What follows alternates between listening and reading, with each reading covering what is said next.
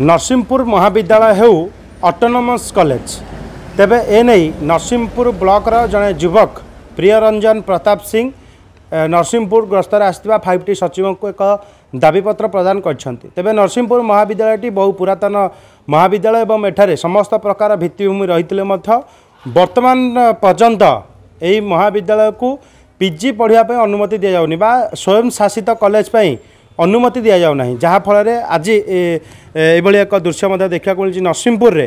ଯେ ଗତକାଲି ଯେତେବେଳେ Pandian V K Pandian five T ସଚିବ ନରସିଂହପୁର ଗସ୍ତରେ ଆସିଥିଲେ ସେଠାରେ ତାଙ୍କୁ ଦାବିପତ୍ର ଦେଇଥିଲେ। କିନ୍ତୁ ଏ ଦାବିପତ୍ର କେତେ ଦୂର ସଫଳ ହେଉଛି ତାହା ହିଁ ଦେଖିବାକୁ ବାକି ରହିଲା ଏବଂ ଆମ ସହିତ ସେ ଯୁବକ ରହିଛନ୍ତି। ତାଙ୍କ ସହିତ ସିଧାସଳଖ ଆଲୋଚନା କରିବା।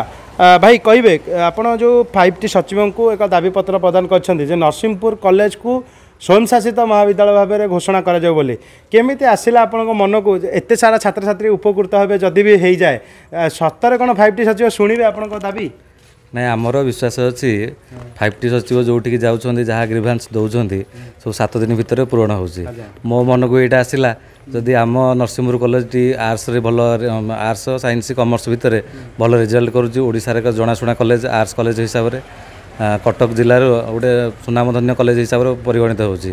ତେଣୁକରି ମୋ ମନକୁ ଆସିଲା ମୁଁ ଯେହେତୁ ନରସିଂହପୁର କଲେଜର ଛାତ୍ର ମୁଁ ଚାହିଁଲି ମୋ ଅଞ୍ଚଳର ବିକାଶ ହେଉ ଯେ ଆମର ବିକାଶ ତ ନବୀନ ପଟ୍ଟନାୟକ ସବୁ କରୁଛନ୍ତି। ତେଣୁକରି ଆମ ନରସିଂହପୁର କଲେଜକୁ ଅଟୋନମସ୍ କଲେଜ ଖୋଲିଲେ ଆ, ଆମେ ବିଶେଷ ଉପକୃତ ହେବୁ। ଆମ ଅଞ୍ଚଳର ପିଲା ଯେଉଁମାନେ ଗରିବ ମେଧାବୀ ପିଲା ଅଛନ୍ତି ଦଳିତ ଆଦିବାସୀ ପିଲା ସେମାନେ ଉଚ୍ଚଶିକ୍ଷାରୁ ବଞ୍ଚିତ ହେଉଛନ୍ତି।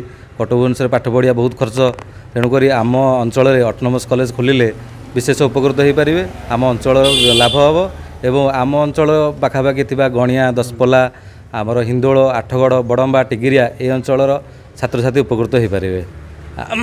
ଏବଂ ଆମର ଯେଉଁ ଶିକ୍ଷା ବଣମଲ୍ଲି ଫୁଲ ବଣରେ ନ ଜଡ଼ି ସେଇଟା ଆଗକୁ କେମିତି ଯାଉ ଏଇ ଶିକ୍ଷା ମାଧ୍ୟମରେ ଏଇଟା ଆମର ମୁଖ୍ୟମନ୍ତ୍ରୀଙ୍କ ପାଖରେ ଏଇ ଦାବି ଆମେ ଦେଇଛୁ ପାଣ୍ଡିଆନଙ୍କ ଜରିଆରେ ଏବଂ ଆଗାମୀ ଦିନରେ ଆମେ ତହସିଲଦାରଙ୍କ ଜରିଆରେ କଲେଜ ପିଲାଙ୍କୁ ନେଇ ଏକ ରାଲି ମାଧ୍ୟମରେ ତାଙ୍କୁ ଦାବିପତ୍ର ଦେବୁ।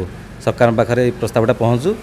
ଆଉ ନିଶ୍ଚିତ କେମିତି ରହିଛି କଲେଜ କଲେଜର ଆମର ଅ, ଏଇଠି ରେଜଲ୍ଟ ଦୃଷ୍ଟିକୋଣରୁ ଭଲ ଅଛି ଏବଂ ଟିଚର ବି ମଧ୍ୟ ବହୁତ କୋପରେଟିଭ ପିଲାଙ୍କ ପ୍ରତି ପାଠ ପଢ଼ାରେ ଭଲ ହେଉଛି ଏବଂ କ୍ଲାସ୍ ରୁମ୍ଠୁ ଧରି ଅ, ଆଉ ଆନୁଷାନିକ ଯାହା ବ୍ୟବସ୍ଥା ରହିଛି କଲେଜର ସବୁଥରେ ଆମର ଓକେ ଅଛି। ଭିତ୍ତିଭୂମି ଅଛି। ତେଣୁକରି ସାର୍ମାନଙ୍କର ବି ସହଯୋଗ ରହିଛି ପିଲାଙ୍କର ବି ସହଯୋଗ ଅଛି ନରସିଂହପୁର ଜନସାଧାରଣ ୟାକୁ ସ୍ୱାଗତ କରିଛନ୍ତି ଏବଂ ଆଗାମୀ ଦିନରେ ୟାର ବି ସାଥ ଦେବେ ସମସ୍ତେ ଚାହୁଁଛନ୍ତି ଆମ୍, ଶିକ୍ଷା ଆମର ବଞ୍ଚି ରହୁ ଏବଂ ଖାଲି ମଠ ମନ୍ଦିର କଥା କହିଲେ ବିକାଶ ହେବନି ବିକାଶ କହିଲେ ଶିକ୍ଷାକୁ ମଧ୍ୟ ଆମ ମେରୁଦଣ୍ଡ। ତେଣୁକରି ଶିକ୍ଷାଟା କଥା ଭୁଲି ଯାଇଛନ୍ତି ଆମେ ଶିକ୍ଷାଟାକୁ କେମିତି ଆଗକୁ ନେବା ନରସିଂହପୁରରେ ଉଚ୍ଚଶିକ୍ଷା ତା ପାଇଁ ଆମେ ପ୍ରୟାସ ଜାରି ରହିଛି। ସାତ ଦିନ ଭିତରେ ହବ? ପୂରଣ ଆଶା ଅଛି ସାତ ଦିନ ଭିତରେ ହେବା ପାଇଁ ସାତ ଦିନ ନହେଲେ ବି ସେ କହିଛନ୍ତି ଆଉ ଗୋଟେ କଥା ଯେ ଆମକୁ ମାସେ ପରେ ଆଉ ଥରେ ରିମାଇଣ୍ଡ କରିବେ ଯଦି ବି ରହିଗଲା ତାହେଲେ ଆମକୁ ବାରବାର ଚିଠି କରନ୍ତୁ ଆମେ।